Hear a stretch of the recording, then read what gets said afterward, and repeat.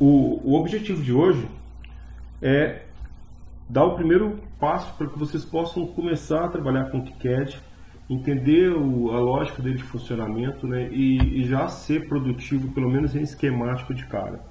Eu vou fazer um, a gente vai fazer juntos um pequeno exemplo, depois vocês vão ver que eu vou até o fim nesse exemplo, que vai demorar 10 minutos a mais para ter uma placa perfeccionada, tá? É claro que vai ter um monte de coisa que não vai ter perfeita, mas para vocês entenderem que o fluxo da coisa é bem simples, não é um complexo igual outras ferramentas de é, design para a parte eletrônica que eu já usei é, durante a minha vida aí, tá? Então tá, vamos lá. Acho que todo mundo tem necessidade de fazer PCB atualmente, né? Em geral, a, gente está acostumado a ver esse tipo de, de apresentação de trabalho, de produto, né? Que fica complicado, né? Eu sei que a gente pode pôr hashtag, né? Quem nunca, né? Todo mundo já fez alguma coisa parecida, assim, mas todo mundo sabe também o problema que é manter um tipo de circuito desse e fazer isso funcionar o tempo todo, né? É super complicado. Soprou um ventinho, aí saiu um fio do lugar, mexeu, movimentou. Se a frequência é mais elevada, a gente começa a ter uma série de problemas, né? Então o mundo maker está acostumado a fazer esse, esse emaranhado de fios aí, né? E quando muito eles conseguem ir lá no, no Fritzing e organizar esse emaranhado de forma que alguém consiga pelo menos reproduzir, né? Essas duas coisas são interessantes, são ferramentas que a gente pode usar, mas estão longe de ser um PCB, estão longe de ser um, um, algo que a gente possa efetivamente trabalhar como produto, né? Então a gente quer no PCB ter confiabilidade, né? Naquilo que a gente está fazendo. A gente quer ter estabilidade na, naquela placa. Né? A gente quer ter uma placa, por exemplo, que, não, que funcione em frequências mais elevadas. Aquele emaranhado de fio ali, talvez vá até o kHz. Será que ele, ele suporta megahertz? Será que você vai conseguir rodar um, uma SPI a 10 MHz com aqueles fios todos ali em cima? Eu tenho minhas dúvidas, tá? Quando a gente muda de para megahertz, a gente começa a ter alguns problemas de interferência, de comprimento de fio, né? Então não, não dá para levar dessa forma, tá? E é óbvio que se você está fazendo um produto, você precisa de uma apresentação mínima, decente, então você precisa de uma placa. E se você pretende montar isso, também você vai ter que ter um jeito de trabalhar essa placa para que ela possa ser feita com montagem automatizada, tá? Deixa eu só ver aqui quem mais entrou, enquanto um segundinho. Tá, pessoal, quem, quem chegou agora, é, eu já comecei, a gente ainda não entrou nenhuma parte mais, mais densa não, mas vocês vão conseguir acompanhar normalmente. A gente está gravando também essa sessão, então posteriormente eu divulgo para vocês um link para acesso, ok? Aqui do lado direito tem um link de bate-papo, tá? Então podem ficar à vontade para digitar aí. E se precisar falar alguma coisa, pode me interromper, liga o microfone, fala e me interrompe, tá? Recomendo que vocês desliguem as câmeras para diminuir o tráfego aí de rede. E vamos seguir, beleza? Dá só um feedback depois aí no, no bate-papo se vocês tiverem algum problema de audição. Se estiver tudo ok, põe um ok para mim. Estou com receio de de repente não tá legal o som. Ah, beleza. Tá ótimo. Perfeito. Nós estamos aprendendo juntos usando a ferramenta aqui. Vamos voltar lá. É, antigamente esse, esse tipo de ferramenta chamava CAD, né? CAD, CAD mesmo, né? Porque a história do layout vem muito do, da história de desenho mecânico, né? Antigamente o layout era feito em prancheta, igual você desenha qualquer peça, você desenhava circuito, né? Mas antes ainda os caras desenhavam na mão, então era até bonitinho, né? Tudo linhas curvas tal, mas não é impossível, né? Trabalhar assim hoje em dia. Isso antigamente é, é antigamente mesmo, porque quando eu lembro de usar ferramentas, logo na faculdade já tinha disponível várias coisas que eu poderia usar, né? O antigo Tango, por exemplo, né? E hoje a gente chama isso de EDA, tá? Então, é, são ferramentas de, que te ajudam no projeto eletrônico. De maneira geral, essas ferramentas se chamam EDA. E a gente tem um monte no mercado.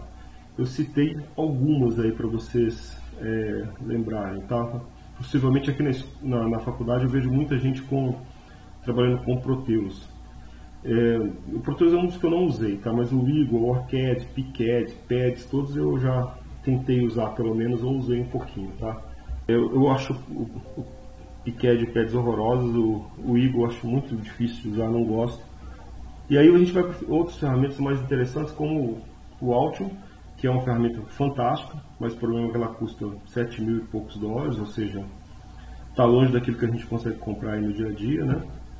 Mas realmente é uma ferramenta extremamente produtiva, tem todo o preparo para trabalhar com controle de versão, trabalhar com equipe mesmo de desenvolvimento, não só uma pessoa trabalhando, trabalhar com integração com outros setores da sua empresa, por exemplo, com setores de compra. Então, o Altium é uma ferramenta muito legal, só que pelo preço complica, né? A gente começar a trabalhar com uma ferramenta dessa tem que desembolsar aí 7 mil dólares de alguma coisa que eu não lembro o detalhe, mas é um pouquinho mais que isso. É, não sei se vocês já viram, tem uma proposta web para fazer esse tipo de design de placa, que é o Upverter. Depois vocês dão uma, uma procurada aí, dá no Google para vocês verem. Você faz tudo no site. Você entra, loga, aí tem um preço gratuito para algumas que você pode fazer e algumas coisas pagas um pouquinho com mais recursos, tá? É interessante, é uma proposta em web, né? Por outro lado, você fica preso na web, né? E algumas coisas não são muito legais de se fazer na web, não. Por exemplo, um roteamento automático, uma, arrastar um chip com várias linhas, tem umas coisas que eu não faria em web não, tá? E, finalmente, o, o KiCad é uma opção muito legal, porque vocês vão ver, ele é simples, né? Ele tem vários motivos aí para a gente trabalhar com ele, tá? O primeiro motivo, para mim, é porque ele funciona. Esse é o primeiro motivo. Não é porque ele é de gratuito, não é porque ele é de graça, não é porque ele tem suporte da comunidade, porque roda muito com muitas plataformas, não é por isso é porque ele funciona. Se ele não funcionar, você não ia usar. Tá? Esse eu acho que é o grande tipo. Consigo gerar um arquivo de placa que eu levo no fabricante e faço a placa. Eu consigo pegar esse, esse arquivo de placa e lá na minha fresadora fresar uma placa. Então isso eu acho que é o diferencial. Ele funciona. Além disso, eu acho que ele é muito fácil de usar, ele é gratuito, ele tem fonte aberta, né? multiplataforma. Em Linux é complicado, você tem poucas é, soluções de desenho de placa em Linux, por exemplo, na minha plataforma. Você tem um suporte legal da comunidade para bibliotecas de componentes e modelos 3D. Eles hoje colocam isso no GitHub. Então você pode apontar para o GitHub direto da ferramenta do KiCad, ou você pode fazer um checkout, que é o que eu faço do, do GitHub, do clono. Né? Eu clono o GitHub naquele momento da, da, do suporte das, do, dos componentes das ferramentas e dos modelos 3D e uso localmente. De vez em quando eu sincronizo mas é mais rápido, não depende de conexão da internet para fazer um projeto. Então, esse suporte vem crescendo, cada dia tem mais componentes e as pessoas estão contribuindo é, bastante né, para crescer. É, não tem limites assim, de número de layers, de é, tamanho de placa, não tem nada disso né, no, no que quer, você usa o tamanho que você quiser. Quem usa o Vigo sabe que está limitado aí a 10 por 10 centímetros de dois layers que atende muitos projetos, mas se você quiser fazer uma coisa um pouquinho diferente de uma placa que fiz essa semana já não seria possível, tá? E finalmente é porque eu não tenho 7 mil dólares para dar numa ferramenta como o Alt. Se eu tivesse até acho que até compraria. Eu gosto muito do Alt, acho que a ferramenta é extremamente produtiva, mas por esse preço aí eu vou continuar esperando uma oportunidade no futuro de ter uma licença. Fora que ele não roda em, em Linux também, né? Que é outro problema também. Bom, beleza. Só para vocês terem uma ideia, estamos terminando já essa parte de apresentação, tá? O foco aqui não é ficar contando história, não. Então, o CAD é mais antigo do que vocês talvez possam imaginar. A gente está falando do programa que começou em 92, pelo, por esse francês aí, Jean-Pierre. E eu usei o KiCad no passado e achei muito fraco, assim, achei difícil usar, achei que eu vi alguns problemas no passado que eu acabei não usando. E aí, recentemente, eu percebi que ele tinha melhorado, né? Eu fui pesquisar a razão disso e eu notei que uma das grandes razões foi o CERN, que é aquele, aquele núcleo né, de pesquisa na área de física nuclear aqui na, na Europa, ter apoiado o, o, o, projeto. Então, eles começaram a realmente fazer do, do KiCad algo que fosse usável mesmo, que gerasse é, hardware livre, né, projetos abertos e entregasse alguma coisa que você pudesse realmente fabricar. Então, o, o CERN teve um papel importantíssimo nisso e, e, hoje a gente vê isso como resultado. Tá? O número de usuários cresceu muito, o número de downloads cresceu muito e a ferramenta hoje está bem melhor do, do que antes. Tem vários desenvolvedores hoje, né? Dezenas de desenvolvedores Eles estão no Launchpad, você consegue ver mais de 15, 20 desenvolvedores lá, tá? Então, é realmente um bom avanço aí da, da ferramenta. Para quem não sabe, a pronúncia é KiCad mesmo, tá? Então não é KiCad, KiCad, nada disso. E vocês não me perguntem o que é esse Ki, que eu não faço a menor ideia, eu procurei ontem mais de hora, não achei. Chutei que era o X, o Ki grego, né? Por quê? Porque ele é o WX Widget, que é a ferramenta que ele constrói, o X pode vir daí. Chute, tá? Não tem no fórum, não tem no FAQ, eu não sei o que é isso não. Enfim, KiCad. É, depois vale a pena dar uma observada nesse site aí, no Feito com KiCad. Tá? Tem, um, tem uma série de placas que foram confeccionadas lá. Então essas três superiores aqui são placas que o KiCad é, foi usado como ferramenta. E aí para não ficar mostrando coisas que a gente não conhece, eu fiz aqui embaixo quatro placas que eu fiz recentemente.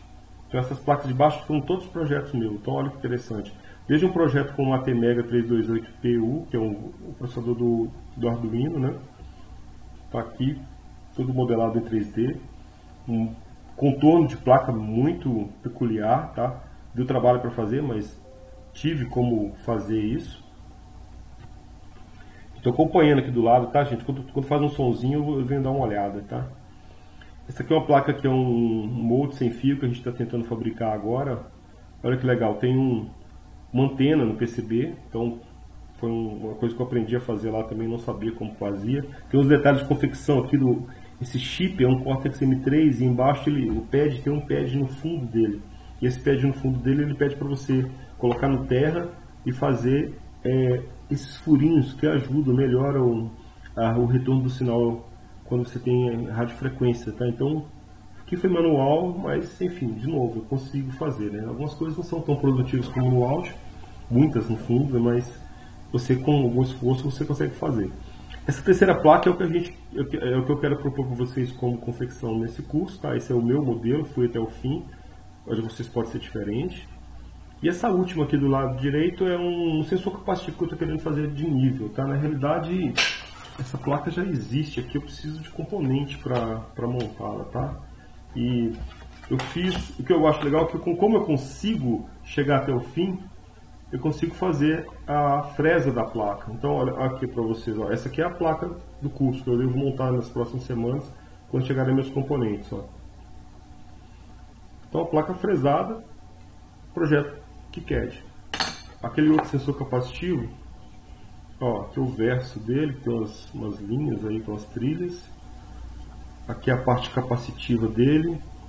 Isso aqui deu muito trabalho para fazer, que são a malha, né? Essa malha aqui de, de terra, mas sem ser totalmente preenchido. O KiCad não faz automaticamente. O Altium faz, outros ferramentas fazem, o KiCad não. E a placa principal. Ou seja, a ferramenta efetivamente funciona, tá? Eu acho que isso é o mais importante de tudo até até o momento aqui. Talvez com um esforçozinho ou outro a gente chega lá. É, essa transparência é talvez a mais importante do que eu estou falando até agora. Falei um monte de bobeira, um monte de, de coisas com pouco valor agregado, mas isso aqui é importante. Se você entendeu o que, é que significa isso aqui, você vai entrar no KiCad e vai saber como é que ele funciona, tá? Então, o KiCad é composto por vários programas que operam em conjunto. Então, a gente tem, por exemplo, o programa que faz a captura do esquemático, que é esse esquema deles aqui. A gente tem um programa que edita bibliotecas de é, componentes para esquemático. Então, tem um editor de biblioteca para esquemático. A gente tem um programa que faz o projeto da placa, que é o PCB-New. A gente tem um programa que ajuda você a criar footprints, né? ou seja, eu tenho um componente eletrônico, um resistor. Como que esse resistor deve ser visto quando fizer uma placa? Se for um resistor SMD, por exemplo, ele vai ter lá dois padzinhos no topo da placa. Se for um resistor é, tradicional, antigo, né, PTH, ou seja, through hole, ele vai ter dois furos. Então esses dois furos vão representar o resistor. Então, ah, eu quero pôr nomenclatura onde? Quero pôr R1 em que lugar? O valor vai ficar em que posição? Isso quem define é o que a gente chama de footprint, né, da, da pegada do componente. Como que o componente se realiza na placa, tá? Então a gente precisa no editor de footprint também. É, uma ferramenta que completa esse conjunto é o, o, a visualização do Gerber. O Gerber é o arquivo de fabricação. Quando você manda fabricar uma placa, você não manda o seu projeto eletrônico, você manda o arquivo Gerber. O arquivo Gerber tem toda a documentação necessária para que as ferramentas de construção de placa ou mesmo fresas possam operar e gerar a placa que você quer, tá? Tem arquivos de furação também que você manda conjunto que o KiCad também também gera, tá? É, os, o, o KiCad tem um suporte 3D e você pode visualizar quase tudo em 3D. Tem uma biblioteca grande 3D já por sinal. Se você não tem um elemento em 3D, você pode fazer um desenho em 3D e associar com aquele footprint, tá? Então o pessoal aí tá deve saber da Wings 3D quando vocês instalaram, ele parece que deve ser, eu acho que ele é oferecido para você, te permite fazer um modelo 3D e associar com um componente no, no KiCad. Também é possível fazer roteamento automático, não é tão intuitivo, porque ele usa uma ferramenta externa que chama Free Routing. Eu testei, funciona, é interessante, tá? Eu não gosto muito de roteamento automático, porque para ele ser bom ele precisa de muitas regras, para você definir exatamente como é que você quer que as coisas aconteçam. Mas às vezes é legal, às vezes dá uns bons chutes iniciais, talvez você pode terminar a mão depois, tá? Então basicamente a gente tem essas ferramentas. O, o esquemático, biblioteca do esquemático, o PCB, editor de footprint, visualização de Gerber e tem uma ferramenta chamada CVPCB que serve para você associar o footprint com o componente que você fez no esquemático. Tá? O esquemático precisa de um footprint associado para ele. Então tem uma ferramenta explícita para isso. Na prática vocês vão ver que a gente não, não precisa tanto usar essa ferramenta. Tem um jeito mais simples de fazer isso.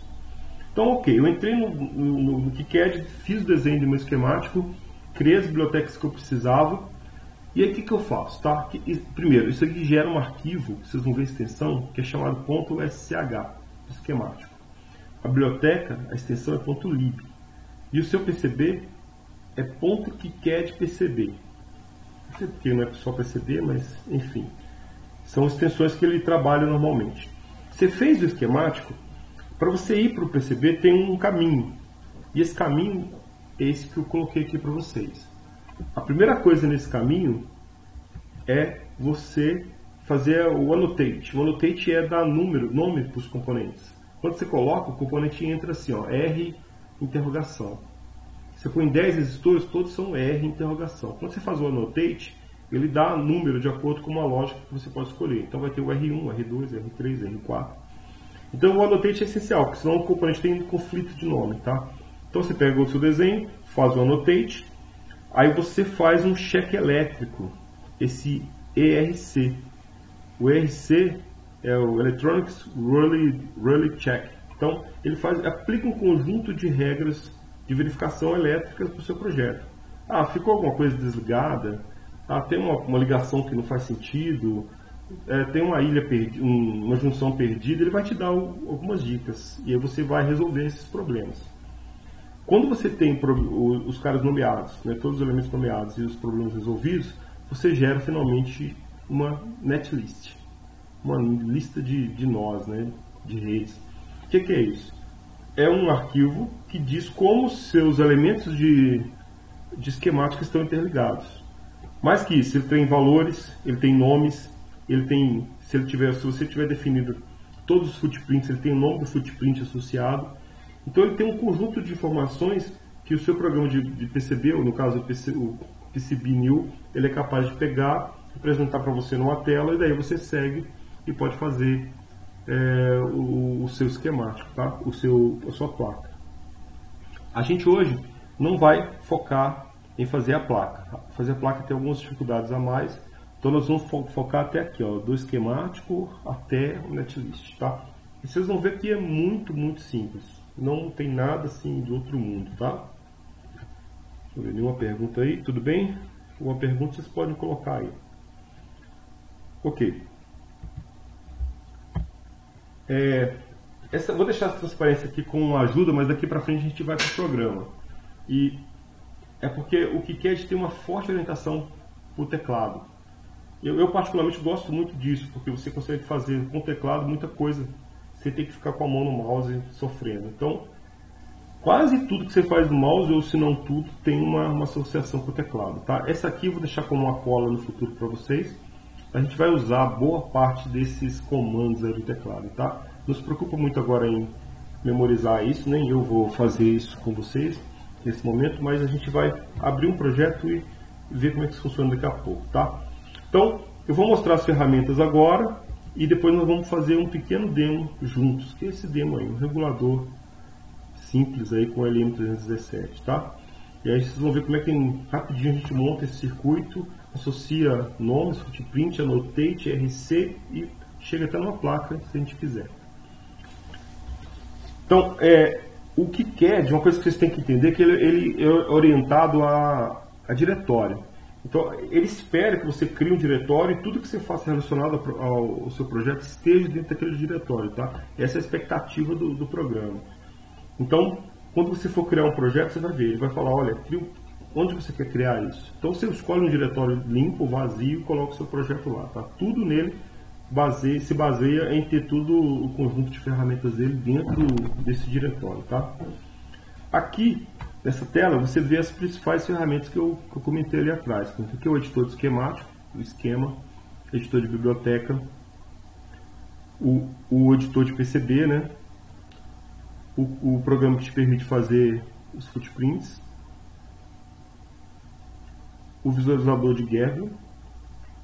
Aqui é um conversor de bitmap para você ajudar a fazer algumas bibliotecas de componentes mais bonitinhas, né? com, com desenhos mesmo, provenientes de, de bitmaps, nunca usei isso. Aqui tem uma calculadora que tem umas coisas interessantes. Então, é, no PCB isso aqui vai ser mais útil para a gente, tá? Mas quando você faz um PCB, o PCB tem classes. E dependendo da classe, ele tem um custo, ele tem um processo de fabricação que pode mudar, tá? Então ele te dá umas dicas, né? Cor de resistor, tonalização de linha de RF, é, tem uma série de coisas aqui, ó. Alguns reguladores já tem aqui umas dicas como é que você pode trabalhar com ele e tal.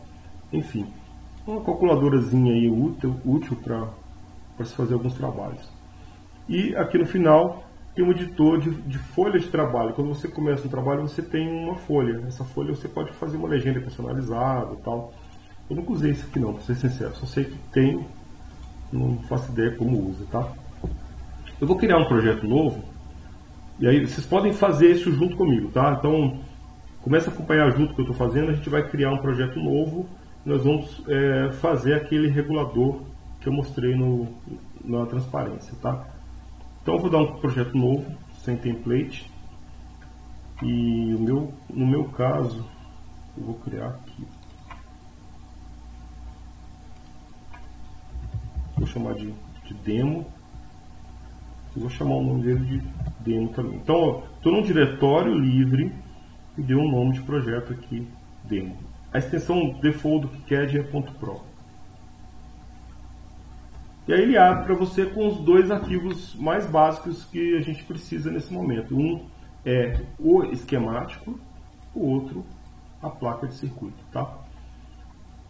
É, vou esperar vocês, todo mundo nesse ponto aí, só para poder seguir.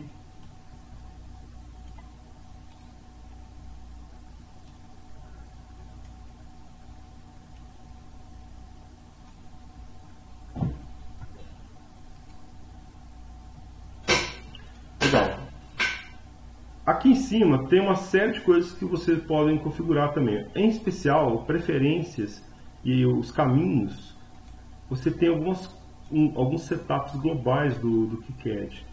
O meu, então aqui tem quatro defiles, tá? talvez, talvez vocês tenham três ou quatro também.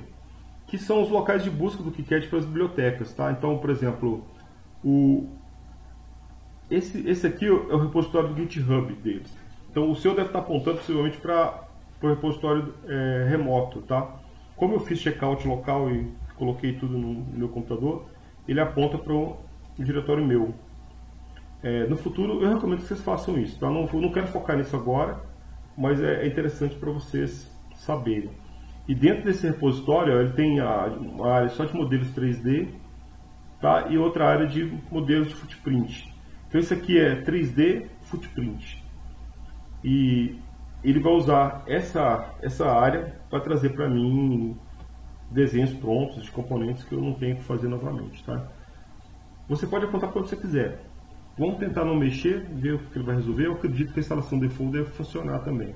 A minha eu tive problemas, eu fiz uma instalação que não era a default do, do, do Ubuntu, era, era a versão mais nova do, do KiCad, então deu algumas dorzinhas de cabeça. Tá? Mas eu acho que vocês não vão ter isso não. É, eu estou usando a versão 4.1.0 Alpha. Possivelmente a de vocês deve ser a 402, né? Se eu não me engano. Então a minha está mais um pouquinho mais à frente. Ela é interessante, mas eu pego os bugs todos também, né? Volta e meia tem alguma coisa que não funciona direito. Ok, vamos lá. Abrir o esquemático. Nossa primeira ferramenta. Está aqui. Deixa eu tentar fazê-la ficar só num, num, cantinho da tela aqui também. A gente não perdeu interação. Essa ferramenta parece simples, né? a gente não tem muita coisa nela, mas é suficiente para o que a gente precisa fazer. Tá? É, o que, que você faz normalmente quando você abre e começa um projeto novo? Eu, a primeira coisa que eu recomendo para as pessoas é fazer um set da página. Então, ó, File, Page, Settings. settings então eu coloco uma data no meu projeto, você pode pôr a data que você quiser, tá? Dar um nome, uma revisão. Isso é legal, tá? É...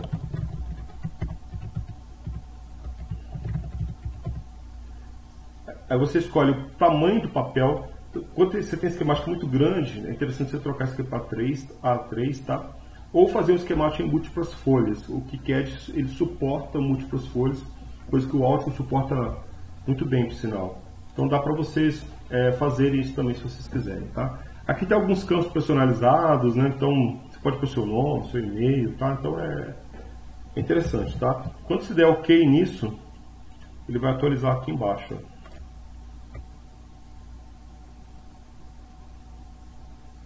Vocês vão ver aqui embaixo a, a informação.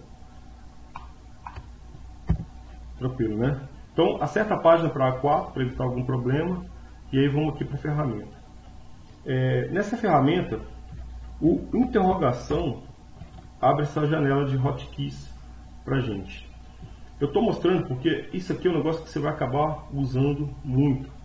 A gente vai fazer junto hoje com algumas, alguns hotkeys, mas vocês vão ver que depois você vai decorar, porque são bem intuitivos, bem fáceis de, de lembrar que elas existem. Tá? E o interrogação traz para você. Inclusive essa janela pode ficar aqui do lado e você trabalhando. Ó. Ela não precisa sumir não, tá? Eu já sei boa parte delas de cor, mas de cara, o que você precisa saber? Zoom. F1 e F2 é zoom. Ó, F1, F2. Isso é uma coisa que você pode decorar. Outra de cara que você tem que saber, home. Olha o efeito do home. Ele centra a página para você, a área visível que tem desenho efetivamente nela. Se no, no perceber home, ele mostra a placa inteira que está sendo desenhada nos contornos da placa, tá? Então F1, F2 e home são é, algumas que você precisa saber de cara, porque você usa toda hora, tá? Você pode dar zoom com o mouse também, então você usa o scroll do mouse, que é o que eu estou fazendo aqui agora, tá? Então é outra saída, se você preferir assim. Mas o, esses três já resolvem bastante. Eu uso bastante o teclado, então eu acabo usando muito o F1, o F2 e o Home. Legal. Esquemático, a gente já tem uma ideia de como é que isso funciona. A gente sabe mais ou menos o que é essa ferramenta. Então, você simplesmente vai colocar aí seus componentes, Vamos lembrar aqui do nosso, do nosso desafio, que é isso aqui, né? Deixa eu dar um zoom aqui também. Tá, super simples. Tem dois resistores, então, dois capacitores. E aqui a gente vai colocar no fundo dois conectores, né? um conector para entrada e saída de dois pinos e o nosso LN. Vamos colocar juntos esses componentes aqui, ó. Se você olhar lá, se você olhar no, no interrogação, vocês vão ver que o A é um add. E esse A te permite escolher dentro da biblioteca que aparece aqui para você, do KiCad, possíveis componentes para colocar. Então, essa biblioteca é grande, tá? Se eu começar a abrir, vocês vão ver que ela tem bastante coisa. E os componentes passivos mais fáceis, eles estão aqui com uns links muito simples. Se vocês fizerem um filtro, ele, ele procura em tudo como você digitar, tá? Os R, ó. Então ele já tem aqui um R, um resistor de cara, e aí tem outras coisas com resistores. Se forem descendo aí, ele vai aparecendo. Ou se você puser resistor mesmo, né? Ele vai mostrando o que, que tem parecido com isso tal. No nosso caso, só o R já resolve. Vou dar um, vou dar um OK ou um Enter no teclado, tá? E aí ele fica preso no meu cursor. Quando você clicar, ele solta coloca para você no esquemático. Nesse momento eu vou chamar atenção para o lado aqui. Ó. Você pode tirar o grid, visível ou não, tá? Eu acho legal deixar visível. Você pode trabalhar em milímetros ou polegadas. Aqui no, no, no esquemático, tanto faz. Pode trabalhar normalmente em polegada, em milímetros. Agora, quando vocês forem para o esquemático, vocês vão ver que o mundo de PCB ainda é muito dominado por polegada e principalmente milésimo de polegada. Então a gente vai lá, eu não consigo trabalhar em milímetros no, quando estou fazendo PCB. Por datasheet que vem em milímetros de polegada, por pensar em comprimento de trilha em milímetros de polegada, quando você liga para alguém falar de, de, de, trilha, o fabricante PCB, ele vai falar em milímetros de polegada para você, mils. Então, sinceramente, dica minha, costuma com mils, esquece, não tem o que fazer, tá? Você pode mudar o formato cursor, ó, se você quiser, tá? E aqui é o modo de linha, se você quer linha sem ortogonais ou não, tá? você quer linha de formato mais livre. Do lado direito tem atalhos para isso que a gente fez no teclado. Então eu poderia ter colocado um place component por aqui, mas eu, o A faz a mesma coisa, tá? O A é muito mais rápido, muito mais intuitivo. Vou colocar o outro resistor. Quando você clicar A de novo, ele põe no último que você é, escolheu. Então, se você A Enter, já sai o resistor automaticamente, tá? Vou pôr um capacitor agora. A, C. Já tem aqui os códigos capacitores. Eu vou escolher um capacitor polarizado, que eu acho que faz mais sentido com o que a gente está fazendo aqui, tá? Então, vou escolher CP1, Enter, tem dois, eu vou pôr do lado de cá, A, Enter, do lado de lá. Todo mundo aí? Se quem ficar perdido aí, liga o microfone e pede para esperar um pouquinho, tá? Beleza. O que, que eu estou imaginando agora? Dois conectores de dois pinos cada um. Desses headers mesmo, né, de 2.54 milímetros, para a gente usar como entrada e saída do nosso regulador. É, então, no caso, eu vou escolher um A de novo, e aí tem uma série de com, com conectores com essa característica. Ó, aqui embaixo ele está mostrando, ó, eu quero esse, tá? com dois pinos, mas tem barras de pinos diversas aí para você usar. Então você escolhe uma aí, ou outro conector se você, se você quiser, mas enfim, eu vou fazer isso aqui, que é um conector simples, que é um header fácil de achar. E aí, ó, vamos aprender mais um recurso, o R. Ó, o que, que o R faz? Gira. O R, então, ele permite a gente girar o componente, ó, antes de colocar, inclusive. Tá? não soltei o componente ainda, posiciono do jeito que eu quero e ele fica na posição que eu quero. Outros dois componentes interessantes na hora de fazer o placement, dois, dois atalhos. O X, olha o que o X está fazendo. Está fazendo um espelhamento em X. E o Y faz um espelhamento em Y, ou seja, no eixo vertical. É diferente, né? Porque aqui, imagina, eu coloquei o componente, ó. Eu tenho 1 e 2. Se eu, se eu pressionar, ficar com o foco do mouse em cima dele, tá? Ó, foco do mouse está em cima dele. Pressiona ESC, tá, gente? O ESC libera o último comando. Então, o ESC é uma tecla que eu esqueci de comentar, mas que sempre libera o comando, tá? Então, se tiver com um A aqui, querendo pôr alguma coisa, a ESC ele solta. Em cima do componente, se você pressionar o Y, olha o que ele faz, ele espelha em relação ao eixo Y. Se eu fizesse uma rotação, ó, o pino ia inverter de 1 para 2. Às vezes você não quer isso, né? Então, é interessante para isso, tá? Se eu quero 1 e 2 desse jeito, espelhado verticalmente, eu uso o, o Y. Se eu quero espelhar horizontalmente, eu uso o X. Vou colocar aqui o segundo conector. A, Enter. Vou deixar ele aqui, ó. Deixei 1, 2, do lado de cá tá 1, 2 também. Beleza, vou salvar. É bom salvar de vez em quando. É bem estável o KiCad, mas né, nunca se sabe. Então, a gente já tem os componentes. Falta o que? O LM.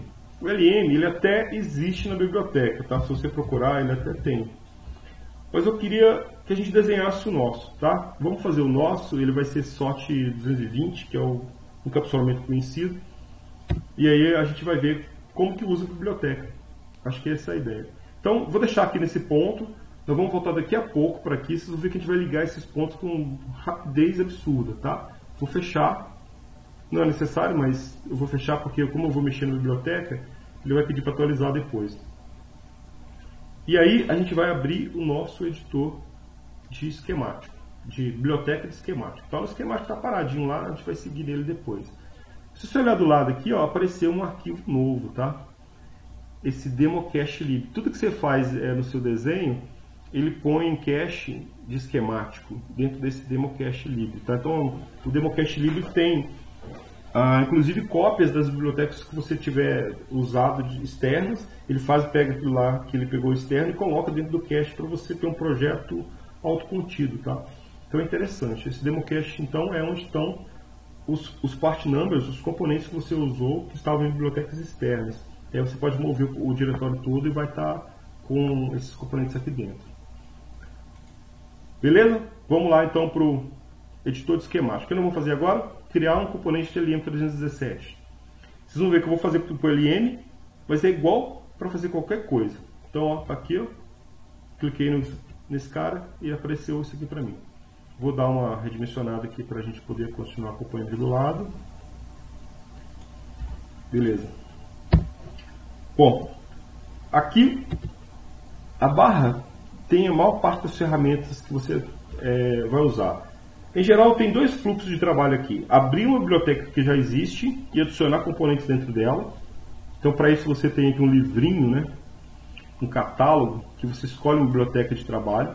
Como a gente não fez nenhuma, a gente não vai ter uma nossa.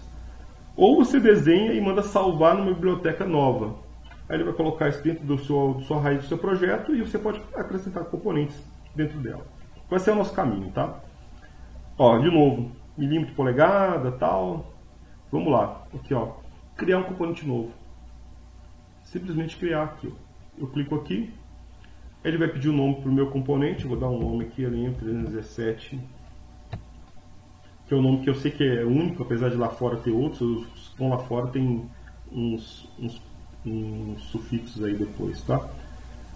Como eu quero chamar esse componente? O 1, o 2, o 3, R1, R2, R3, aí você coloca aqui, ó, o prefixo do nome, tá? E vai ser um componente que tem uma unidade só. Tem chips que são muito grandes que você quebra em partes funcionais. Então você pega esse chip e quebra em 3, 4 pedaços. Ah, você pode pôr a parte de potência e alimentação, sei lá, de um chip num canto, você pode pôr a parte de I/O analógica em outro. Nosso chip tem só um pedaço só, tá? Vou dar OK aqui. Isso aqui é esquisito, né? Quando você dá OK, você quase não vê o que está acontecendo. Então você pode usar o, o F1 aí ou o scroll do mouse, tá? Você vai ver dois carinhas aqui misturados. Hora de aprender um teclado novo. M. M. Ele pediu para selecionar um dos dois, que ele ficou em dúvida qual que era. Eu vou pegar esse aqui, ó. Move. Esse aqui, Move. Então, o nome do componente é LM317, assim que ele vai aparecer no esquemático. Aqui embaixo é o, é o número que ele vai trocar depois por um, o 1, o 2, o 3, depois que eu fizer o annotate. Por hora deixa interrogação mesmo, que é o que vai, ele vai usar como template, tá? Legal. O que, que falta fazer para fazer meu componente? Pôr três pinos e falta desenhar um corpinho para ficar bonitinho, né? Pinos, aqui do lado, ó. Eu posso pôr pinos, texto, desenhar é, formatos quaisquer para o meu componente tal. Basicamente o que eu preciso saber está aqui. O mais simples é pegar o pino. Você vem com o pino, vou pôr em qualquer lugar aqui que a gente vai aprendendo novos comandos com ele. Pin name. É, o nosso primeiro pino, o pino 1 do, do regulador, tá? Depois você pode conferir no manual, mas o pino 1 é o, é o ajuste. O 2, o output. E o 3, input, tá? Eu acho ruim a biblioteca que, que eu vi, inclusive no KiCad, porque essa aba metálica é output também. Então deveria ter quatro pinos, na realidade, tá? Mas como eu não tenho pronto um footprint para quatro pinos do tipo TO220, eu decidi não complicar. Mas eu faria porque eu quero pôr esse cara deitado geralmente para dissipar em cima da placa, né? Mas vamos lá. Isso vai agregar uma complexidade a mais, eu achei que não, não compensava nesse momento não, tá? Ok, vou pôr o pino. Duas coisas importantes, três na realidade. O nome do pino, por exemplo, ajuste. É mais ou menos comum todo mundo colocar em nome em letra maiúscula, tá? Os nomes. É muito comum você ver nas bibliotecas assim. Número do pino, 1. Um. E aqui embaixo, ó, eu, você pode escolher exatamente o que esse pino faz. Por exemplo, se esse pino é uma entrada de alimentação, você pode colocar que ele é um power input. Se ele fornece alimentação, um power output. Entendeu? Então você, sendo um pino de entrada, input. Isso aqui, para que, que serve? Isso serve depois, quando você vai para o esquemático fazer um cheque elétrico, ele verifica se você pôs entrada em saída, saída em entrada, etc. Entendeu? Ele faz verificações se você pôs um pino realmente de alimentação num, num cara que você chamou de power. E isso é interessante. Eu não vou fazer isso agora com vocês, recomendo que vocês façam no futuro. O não fazer é colocar como bidirecional, você não está nem aí. Então, qualquer coisa que você ligar vai dar certo, tá? Mas aqui eu poderia pôr o ajuste como, no fundo, naquele chip lá, ele é um euro, mas eu acho que ele é uma entrada, né? Enfim, então você tem que pegar o part number do, do datasheet do, do, do, componente que você quer fazer e conferir exatamente o que é cada pino. Não quer pensar muito? Vou deixar com bidirecional, tá? Não é o mais correto, mas a gente está tentando fazer um trabalho como se fosse menor aqui. Então vou Ó o R de novo, ó. Vou pôr esse ajuste assim, ó. Aqui. A bolinha é onde vai conectar externamente, tá? Por isso que eu deixei ela para baixo. Vou colocar outro pino. Cliquei aqui de novo. Esse pino agora é o VIN. Esse aqui é o pino 3, tá? Beleza. Pino 3, vem bidirecional, vou deixar bidirecional. Rotacionar, deixar ele aqui assim. E cliquei de novo, o nosso pino V Alt. Chama só de Alt, acho que é melhor, né? Pino 2. Ok. Girei. Legal. Vou aproveitar aprender mais um teclado novo aqui, um comandinho novo. Põe em cima, aperta o E, editar. Vou chamar aqui só de IN. Legal. Ó, já tem mais ou menos aqui o formato do meu, do meu chip, né? Eu vou fazer o seguinte, para ficar bonitinho, eu vou pegar uma caixinha aqui do lado, vou fazer um retângulo em volta disso, ó. Clico, clico, pronto. Para ficar mais bonitinho ainda, eu editar aqui, vou fazer com o mouse agora. Editar, vou pôr um background nele. Ficou meio feio isso aqui, ó. Move. Vou abaixar um. Move. Abaixar um.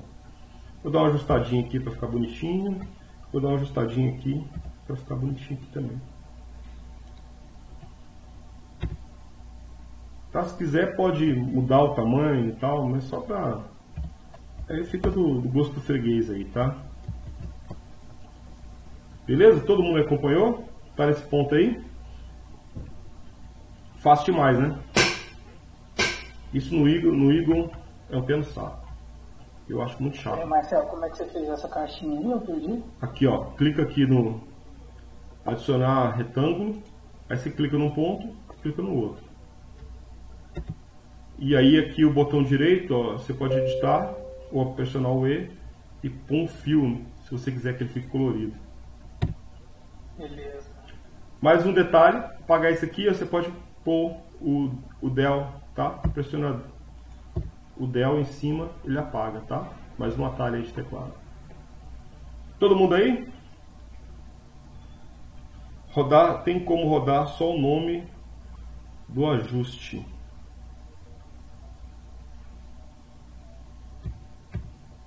Ah, não sei se eu entendi o que você quis perguntar, não. Você queria que ele ficasse ajuste de cima para baixo, talvez, né? É isso? Não sei se tem como fazer isso. Acho que não. Não, não sei, nunca fiz isso, tá? Ele tem, esse sentido é o sentido dele. Eu, pelo que eu vejo aqui nas propriedades, não tem muito como fazer isso não. Eu acho que o, o Altium faz isso. Eu lembro da biblioteca do Altium, você tinha umas opções malucas assim de colocar. E aí onde eu acho que o Altium é muito produtivo. E o Altium tem, você pode fazer isso de forma de tabela. Você fala assim, cria uma tabela para mim, preenche automaticamente uma, sei lá, 64, copia um monte de coisa num, Excelzinho assim do lado e aquilo já vira seu pinout do, do chip, sabe? Aqui não tem essas facilidades de quem quer fazer alguma coisa muito rápido com muito, muitos pinos, né? Imagina você fazendo um, FPGA de 300 pinos, né? 3 pinos é fácil, né? 300 é sempre um problema. Legal. Não, não, não tem uma biblioteca ainda. Vamos salvar essa biblioteca, ó.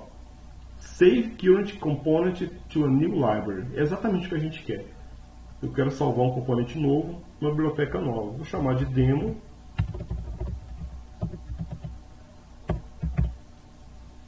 E aí vou salvar dentro do diretório do meu projeto, tá? E ele já me dá uma dica, olha, essa biblioteca não está disponível para o esquema. Você vai ter que ir lá no esquema e configurar essa biblioteca para você poder usar. Obrigado, Ricardo. Eu, eu sei disso. Bom, isso aqui encerra o processo do componente. Tá? Da próxima vez que eu for usar esse cara para usar a mesma biblioteca, você escolhe a sua biblioteca aqui e usa a sua biblioteca daqui, tá? Ela não está ainda porque eu não pus ainda na, na, lista de bibliotecas que ele procura, mas ele vai estar tá daqui a pouco. E aí você põe mais bibliotecas na mesma, mais componentes na mesma biblioteca, tá? Vou fechar. Voltando aqui para o programa, vou abrir o esquemático de novo. Pode ser por aqui, pode ser por aqui, tá? Você que sabe. E agora eu vou aqui no Preferências, Component Libraries. E aí eu vou adicionar a biblioteca que eu acabei de criar. Desktop, CAD, Demo, Demolib. Meu caso, tá? Então ela vai aparecer aqui agora, ó. Tá aqui. Ok. Isso faz com que é, a biblioteca fique disponível para mim para todo o meu projeto. Vou esperar vocês fazerem isso aí, só para dar o próximo passo aqui, tá?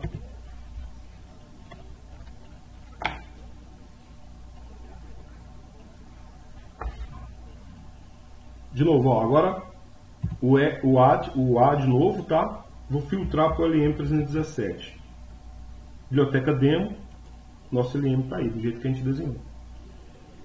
Perfeito? Todo mundo aí? Dou OK. Coloco o nosso carinho aqui em algum lugar. Bom, é, agora a gente precisa interconectar essas coisas de acordo com o nosso esquemático, tá? Então vai ter um pouquinho de capricho tal, acho que é interessante, tem algumas regrinhas mínimas de bom senso. Eu vou começar a mover essas coisas aqui, ó. Pô, esse cara aqui. Estou usando o zoom, estou usando o M, tá? Você pode pegar com o mouse, mar, é, marcar e arrastar. Se você marca, ele, ele chama de bloco isso, ó. E o bloco vai com você, ó. Mas se você solta, ele, ele para no outro ponto. Essa é uma forma de fazer. Como eu gosto do teclado, porque eu gosto de alinhar bonitinho, eu prefiro fazer no teclado isso, tá? O teclado me dá algumas facilidades aí de, de alinhamento. Então eu consigo usar só o teclado, ó. Fica mexendo com os cursores, tá? Então aí, vocês que sabem, aí decisão de vocês. O, o último editor está para baixo. Então vou... Se você clicar no scroll do mouse, você faz o pan, ó. Então pode ser útil para vocês também aí. Esse cara está aqui. Esse aqui eu vou pôr mais ou menos no nível daquele. Um pouquinho mais para cá. Esse conector eu vou pôr no nível daquele outro ali. Tá, tá mais ou menos do jeito que eu quero. Tá faltando um terra, né? Então eu vou usar um novo, uma nova característica, chama P, Power. O P ele te mostra vários possíveis powers. E o power tem um significado diferente para as ferramentas elétricas, né? De desenho eletrônico. Ele sabe que tem níveis de net labels que são coisas específicas. Então você pode reusar já um 3D3, 5, 5 volts. E assim como tem símbolos de terra, terra analógico, terra digital, tem aqueles terras de, de chassis, né, que é esse terra com essa característica aqui.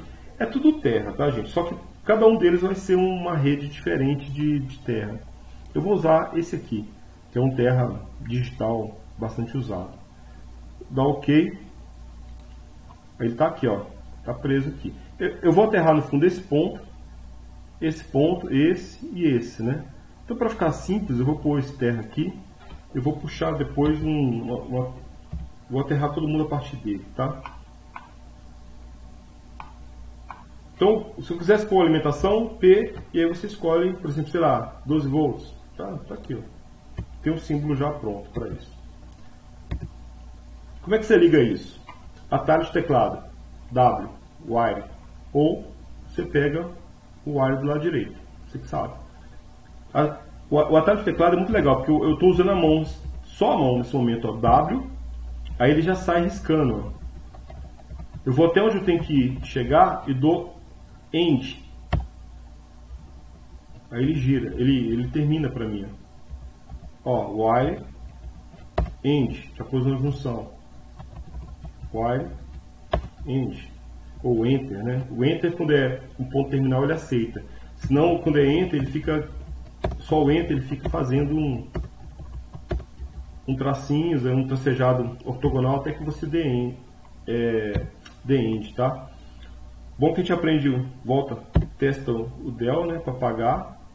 Ó, põe em cima, aperta o del. E lembrando que o Ctrl Z desfaz e o, e o Ctrl Y refaz, tá? Se vocês precisarem. Vou fazer agora no teclado. Aperto o W, tá vendo que o cursor muda? Então você vai no ponto que você quer, aperta o W, ele, ele pega ali e te deixa ligar. Melhorar aqui.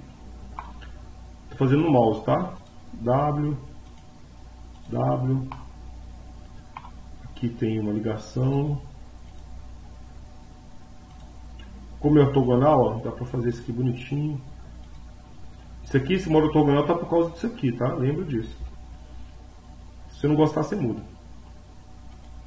Vou ligar todos os terras assim. Geralmente eu não faria isso não, tá? Como esse desenho é muito pequeno, vale a pena, mas possivelmente seria mais fácil colocar vários GNDs separados da minha placa, tá? Mas aqui dá pra gente se dar o luxo de fazer uma ligação desse tipo. Legal, ó.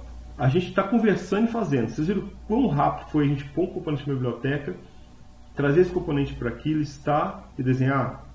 Muito fácil, né? Tem alguns, alguns detalhes interessantes que se você for mover isso aqui, ele perde os fios.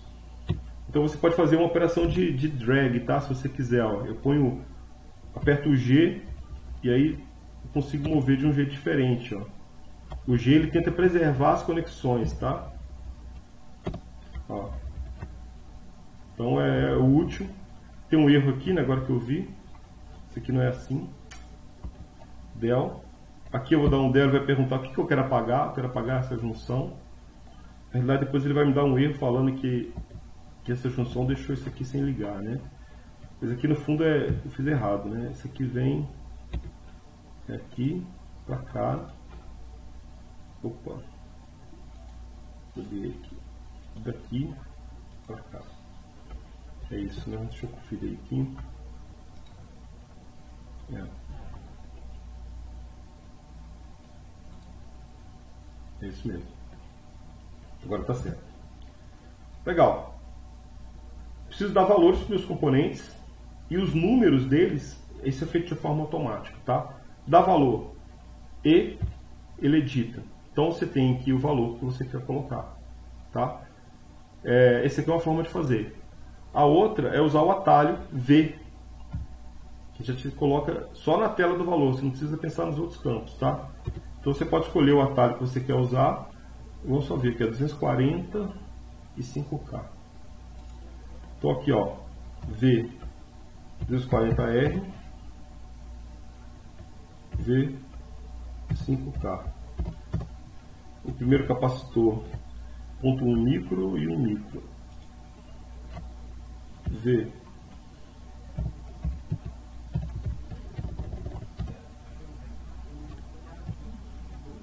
Opa.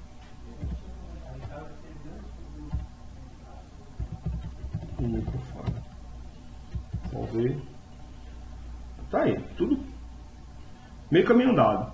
Tá tudo já com bonitinho, com nome. Legal, né? Fácil demais, né? O que está faltando agora? É, no fundo, para esquemático, só falta o annotate. Para PCB, falta alguma coisa ainda, mas para esquemático tá ok. Então, o annotate é esse símbolo aqui, ó.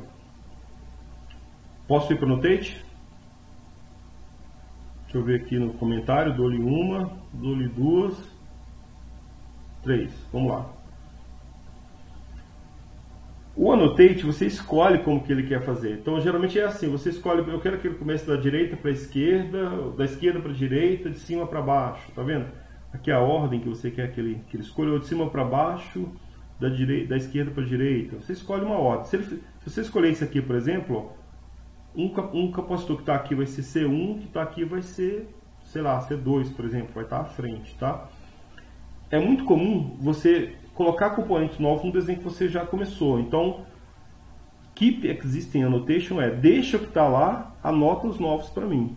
Tá? Então você pode escolher fazer isso. Por quê? Porque às vezes você já está com um PCB lá na frente sendo feito, então o seu C2 está queimado, está usado aqui, está usado lá. Eu, eu, quero manter esses caras, então você dá um keep, tá? Ah, não, eu quero começar do zero. Você pode apagar tudo e começar do zero, tá? Como o KiCad é... Ah, sim, ó. Tá aqui, ó. Esse chipzinho com o, a dúvida aqui em cima. Ou anotei de esquemática.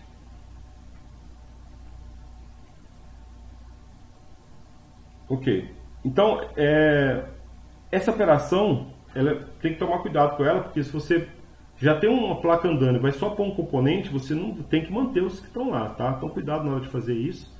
E outra coisa que o KiCad, como ele exporta múltiplas folhas, você pode fazer isso numa página ou em todo o esquemático. Então você decide isso depois, tá? E tem algumas regras de nome, isso no Alt, cara, é muito mais complexo porque ele faz um monte de regra a mais. Mas o mínimo é isso aqui. E você pressiona Annotate. Aí te dá um aviso, olha, vai fazer um monte de bobagem. Você quer mesmo? Quer. Beleza. Tá lá. P1, P2, C1, C2, R1, R2. Então ele seguiu, eu nem prestei atenção, mas essa estratégia. Eu vou pôr essa aqui. Nesse caso só tem dois de cada um, não vai mudar muito, né? Mas quando você tem vários, é, é, muda bastante. E aí é legal porque você sabe mais ou menos onde esperar as coisas, né? Então na decisão sua de projeto, tá? Gente, o esquemático, sinceramente, está pronto. Isso aí você já pode passar para alguém, imprimir, né? Já você consegue fazer a impressão aqui, ó. E, estranhamente, a impressão não é no print, tá? A impressão é no plot. Você dá um plot, ele abre uma tela, aí você escolhe, ah, eu quero PDF, SVG, AutoCAD, né, DXF, eu quero forçar em A4, quero que seja colorido. Ele manda você escolher um diretório de saída e fazer o, plot. Ó. Ele mostra aqui onde ele plotou, ó, demo, demo, PDF. Vamos dar uma olhadinha na qualidade disso. Depois a gente vai, eu vou voltar ali no esquemático, mas por hora, deixa eu só mostrar uma coisa para vocês aqui. Demo, PDF. Então tá com o esquemático bonitinho. Coloridinho e tal, perfeito, tá? Se você tiver preenchido a legenda, a legenda. Então lembra, imprimir para PDF não é no print, é no plot, tá? No, no, na parte de PCB vocês vão ver que o plot também tem uma função muito específica lá. Legal. Se eu tivesse que parar por aqui o projeto, que é o nosso objetivo de hoje, já está ok. A gente já tem um esquemático anotado, né? ou seja, com nomes, e esse esquemático já vou desenhar todos os, os elementos dele, tá? Para vocês, eu vou pedir depois, eu vou continuar com a apresentação, mas eu vou pedir depois que vocês façam esse esquemático para mim.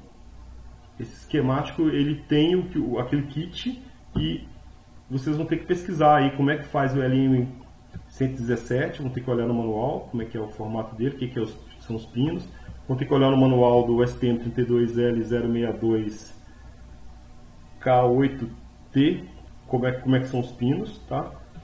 E como é que é o formato dele fisicamente. Vocês vão ter alguns, algumas pesquisas manual, mas assim, não tem nada demais aqui não, tá? Esse aqui é um jumper. Um jumper eu posso fazer com um conector tipo esse header que eu coloquei de 1 por 2 É que tinha um símbolo tão bonitinho lá que eu acabei deixando. Então, esse é esquema que vocês vão trabalhar para casa. Mas por hora, vamos voltar aqui no nosso projeto. Se eu quisesse ir para o PCB, e eu vou com vocês para vocês terem ideia de como é que isso é feito, o que está faltando? Bom, está faltando eu definir todos os part numbers.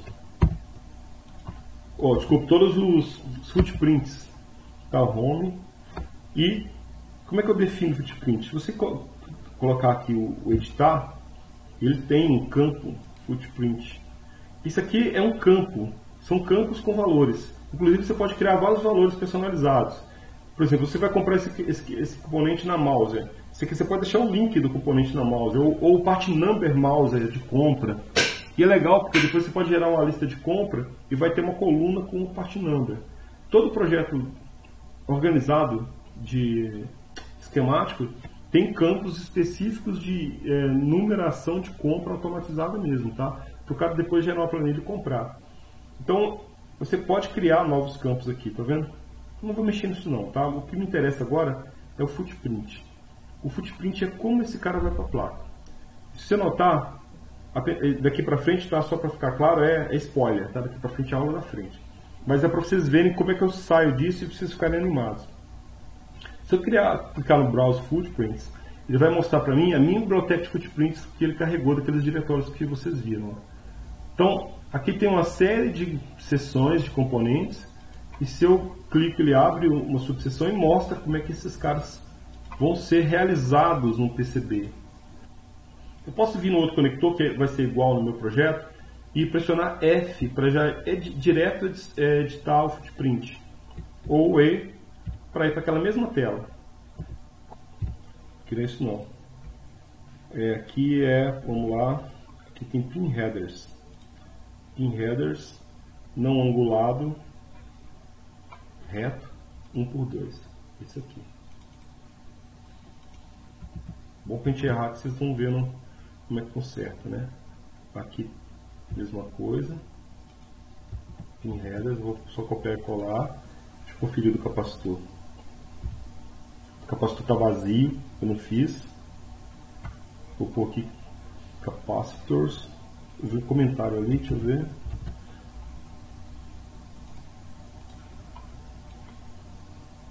Ah tá, é esse mesmo. Os capacitores que eu não coloquei, né? Capacitores through hole. Eu escolhi para o componente errado no fundo. Bobeira minha. Vou pegar um, um axial, um radial mesmo. Esse aqui. Como falei, tudo isso vai para a netlist, né? Então se você é, fez errado, parece errado, né? Se não tem, ele, ele mostra, eu não passei lá, mas ele mostra um erro, olha, não tem isso aqui e tal. Então o processo é esse. Associa, tira esse show daqui.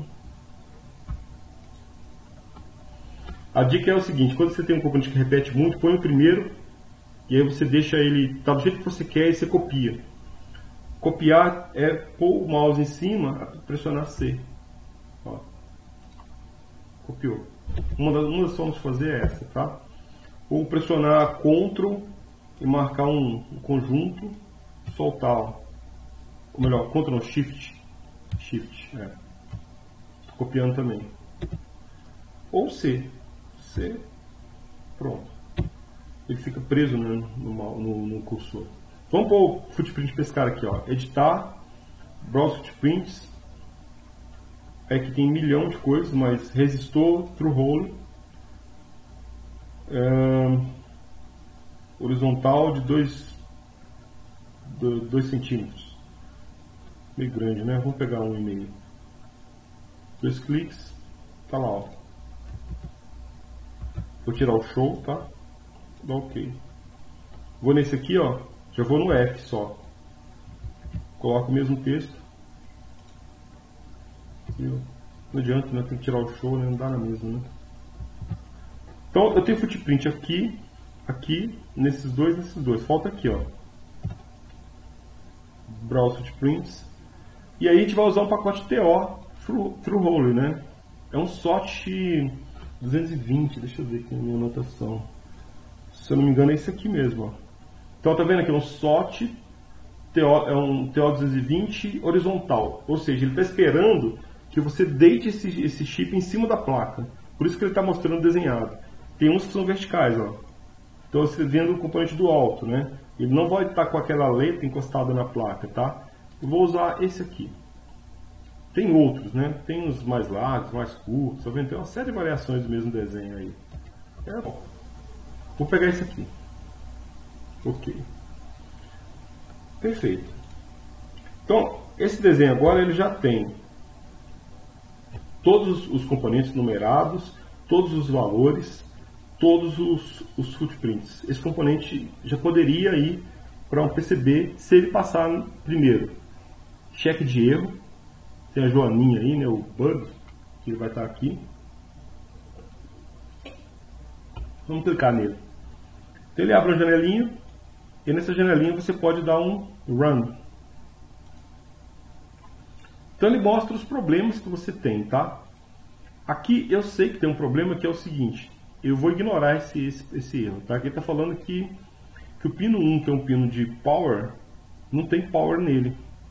Ele mostra lá no desenho o que, que é. Ó.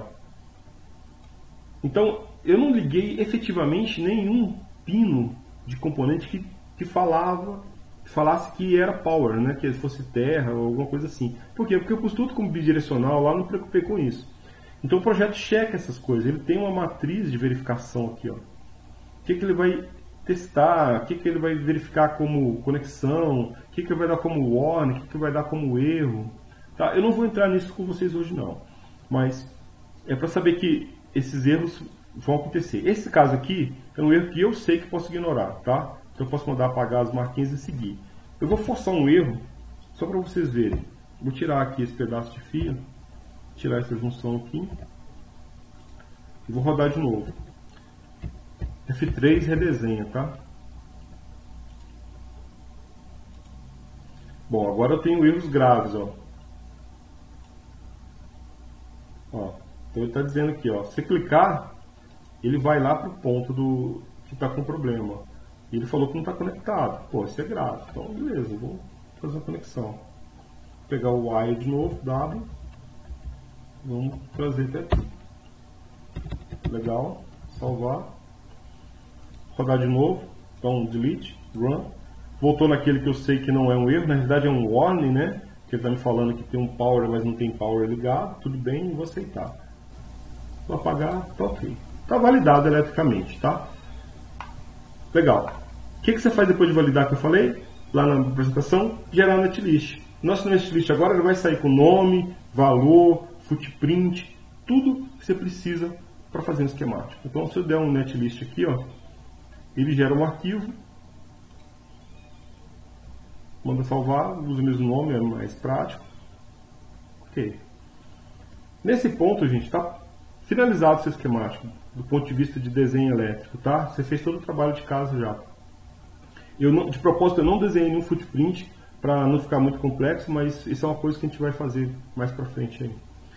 O meu KiCad, ele consegue gerar uma lista de, de compras, uma BOM, Bill of Material, tá? Mas isso aqui eu tive que instalar esse plugin e tal. Não vou entrar nisso hoje também não, mas ele gera isso para mim automaticamente, tá? Só para vocês saberem. E aí ele gera aqui um, um carinha XML aqui, se não me engano. E eu consigo abrir isso no, no OpenOffice, converter, tem, tem, tem umas, umas saídas. Para ele gerar um, aqui, esse SV, isso aqui que interessa. Olha lá. Então eu consigo fazer uma tabela disso depois, tá? Se eu puser mais campos, aparecem mais colunas. Então é legal que você consegue ter um OBOM bonitinho. Bom, o esquemático acaba aqui. Ah, mas eu quero fazer o PCB. Tá, eu vou mostrar mais ou menos como é que você faz o PCB, para vocês é, não ficarem com, com essa curiosidade. Mas a gente não está avançando além do que eu queria. Mas acho que vale a pena porque é muito, muito simples, muito rápido também. Legal, então eu posso abrir daqui direto do PCB é, do PCB New, né? Eu posso fechar também se eu quiser e opa, voltar para o programa aqui atrás. E aí eu abro aqui, ó, dois cliques aqui. Então essa ferramenta hoje aqui não é o nosso foco, tá? Mas basicamente, para você começar um layout, tem algumas coisas que você precisa saber, você precisa ter noção clara da quantas é, sua placa vai ser de quantos layers, você precisa predefinir o setup de página do mesmo jeito que a gente fez antes, você precisa predefinir as espessuras de trilha que você vai pretende trabalhar. Então tem todo um trabalho que é interessante que eu não tenho, que eu não fiz aqui, não vou fazer hoje, tá? Mas só para você saber o caminho, era, eu chegaria aqui, predefiniria essas coisas, aqui tem um, alguns macetinhos, por exemplo, tem um layer setups, por exemplo, ó, aqui já tem uns predefinidos, ó. Olha só, dois layers componentes somente na frente, dois layers componentes na parte de trás. Então você pode escolher um, uma estratégia dessa, tá? Vou pegar uma aqui qualquer, ele vai limpar algumas coisas aqui do lado, aqui são os layers que eu tenho, né? E é complicado agora porque eu tenho layer mecânico, layer de contorno de placa, tá? Os mais importantes são de é, cobre em cima e embaixo, com a placa dupla face, tá? E contorno de placa. Uma vez que eu, se eu tiver feito isso tudo, tiver chegado aqui, feito o page set, page settings, etc., eu posso fazer o que depois? Eu posso fazer um, uma importação da netlist. Ó. Aí ele vai lá e vai ler aquele arquivo que eu criei. Aqui também tem uma série de cuidados para você não destruir o seu trabalho, tá? Não importar coisa em cima de algo que você já tem, então não vou entrar nisso hoje também, mas basicamente eu posso ler minha netlist. Aqui dá um histórico de tudo que aconteceu, tá? Então agora espero que eu não tenha feito na bobeira. Ó, tá tudo aí. Eu vou fazer essa placa em 5 minutinhos, só pra gente ter uma ideia, tá? Aí. Porque eu não quero usar dois layers, tá? Eu quero usar só um. Mas por isso. O que, é que eu preciso ter aqui agora? Eu preciso fazer um contorno de placa, quando você for fazer o layout. O contorno de placa é a limitação física dessa placa. Você precisa saber onde é que ela vai ficar. Então você vem e desenha aqui, ó, no Edging Cuts. Aí você faz um retângulo com esses caras aqui, ó. Então você simplesmente faz um retângulo aqui, que ele sabe que esse é o contorno da placa. Eu vou, vou fazer um retângulo aqui rapidinho.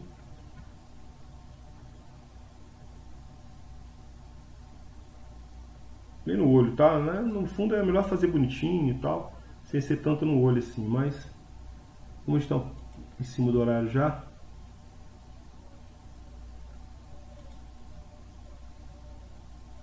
E aí aqui você tem que fechar bem para ele saber que terminou. Ó, olha só que, que legal, tá tudo tosco, mas se eu te der Alt 3, ele tá dando erro porque o limite não tá bem legal ali. Ele já sabe mais ou menos como é que minha placa fica. Ó.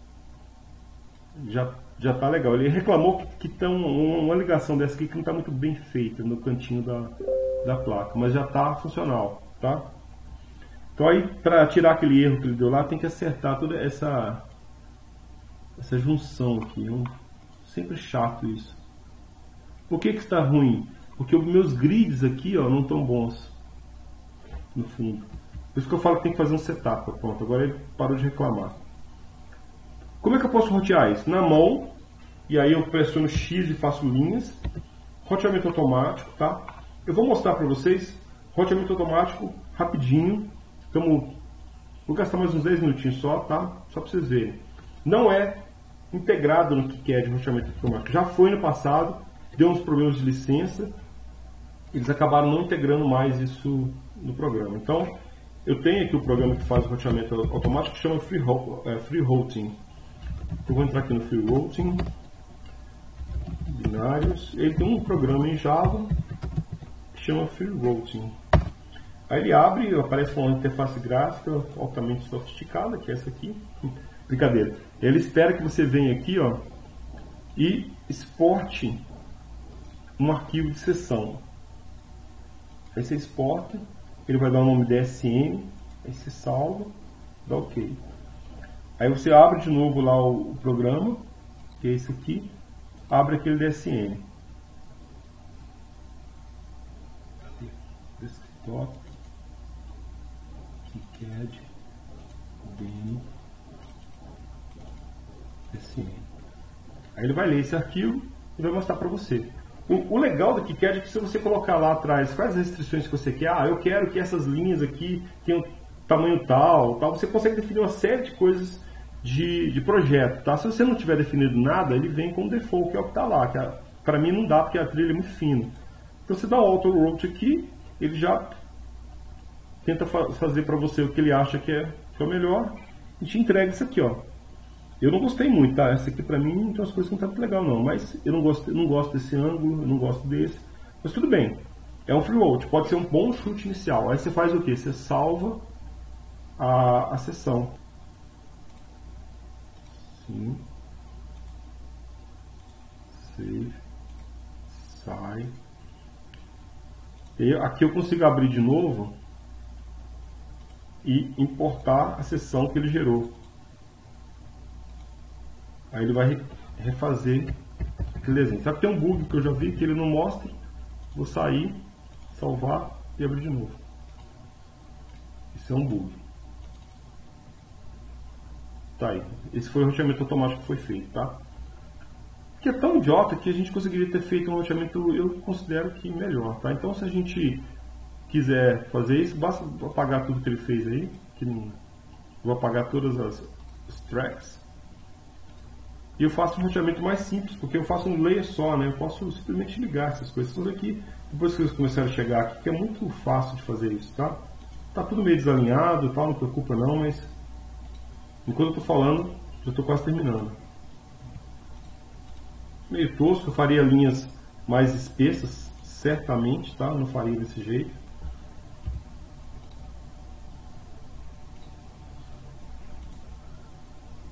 Quase acabando já. Sei lá, vamos fazer um desse aqui assim.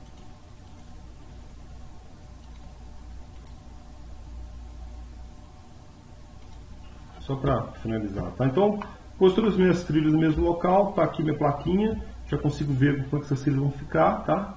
Visualização dela 3D, Alt 3. E aí falta fazer o que? O plano de terra. Posso fazer o plano de terra com esse aqui, ó. Escolha a ferramenta de plano de terra, clico no cantinho aqui, ele pergunta se é em cima ou embaixo, for, deck, em cima, net GND, sigo os cantinhos. Ser muito perfeito não, porque ele vai ele vai saber onde que é o limite da placa e vai aplicar isso pra gente, tá? Vem até aqui.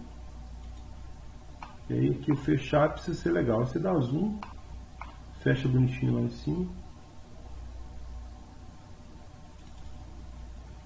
Isso, beleza. É que eu não estou mostrando, mas se eu clicar aqui, ó, já tem o plano de terra. Se eu olhar na visualização, tá lá, já tem um plano de terra envolvido. Ficou de cabeça para baixo no fundo, né, meu, minha placa, tá? Então esse é um layer, esse é o layer verde, né, de, é, vermelho de cima. Então tem os dois layers, ó, um e outro. Eu fiz um plano de terra do lado de baixo, né, no fundo, no layer verde. Eu posso fazer esse plano de terra no layer em cima também, ou só mudar aqui, editar o plano de terra e falar que eu quero que ele fique em cima. Acho que é mais fácil, né? Então tá aí. Tá aí a placa, plano de terra em cima. Daqui para frente é exportar. Você vai chegar aqui, vem no plot, e no plot tem a, tem a possibilidade de você gerar gabbers dos seus arquivos, tá? Então eu quero que ele gere um gap da, da face da frente, do fundo e, sei lá, você pode escolher, por exemplo, da furação, se você quiser, tá? Silk screen, então tem série de camadas que a gente vai falar depois no futuro, tá? Você pode gerar e gerar os arquivos de furação, que é o drill file, ele vai gerar também. Que é onde você tem que furar especificamente na placa. Então ele gera esses arquivos para você. A nossa placa está aí. Está mal feita? Tá. Essas trilhas não estão nos spaces do jeito que eu gostaria e tal. O o placement não está muito bom, mas basicamente a gente fez uma placa em 10 minutos. Tá? Então tudo que a gente fez vai ficando aqui em cima do desenho. E, bom, acho que é isso. Dúvidas, pessoal, nesse momento aí? Conseguiram ver o processo de fim a fim? A ideia? Pode abrir o microfone quem quiser.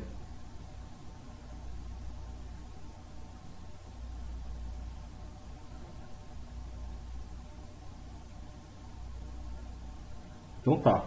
Então eu vou pedir para vocês para trabalharem na nossa, nossa próxima aula nesse arquivo de curso aqui. O meu, eu fiz uma pequena modificação nele que é para vocês treinarem um recurso que eu acho que é legal, que é o recurso que te permite casar esquemático e, e PCB. Por exemplo, se eu clicar aqui, ó, eu consigo saber quem é no PCB. Se eu abrir o PCB aqui do lado, ele dá um highlight. Ó.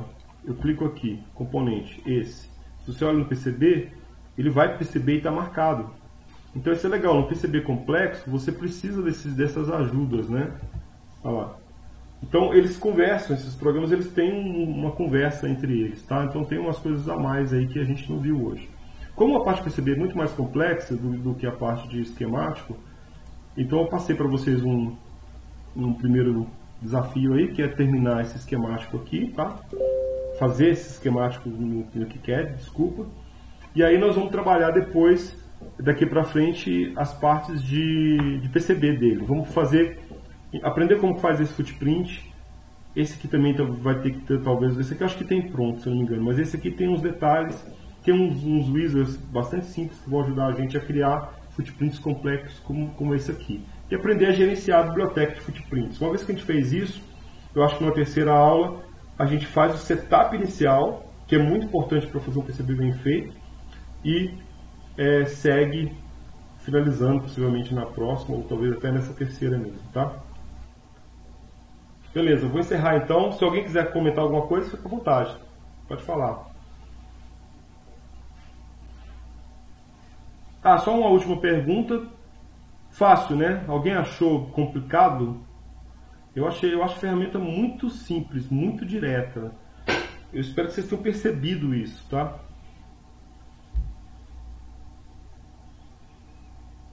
Tango. Tango é ótimo. Ei, Jesus, tá ficando velho, cara. Tá certo. Então tá bom.